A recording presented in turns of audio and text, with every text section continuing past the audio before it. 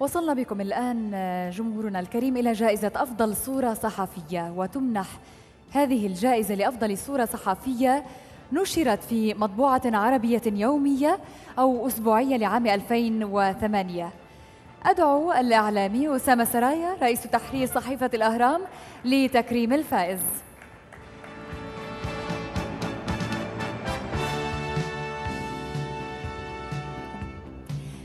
المرشحون هم عماد الدين الجمال من صحيفة الأخبار المصرية فادي محمد عدوان من وكالة زوما بريس علاء الدين بدرنا من وكالة التصوير الأوروبية.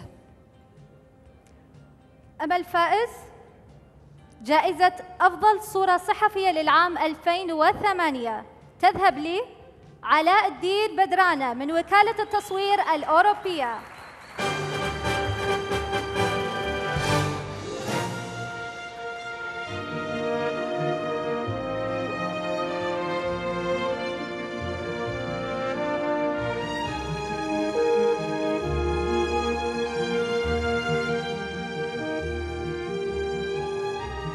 نشكر الأستاذ أسامة السرايا ومبروك للفائز.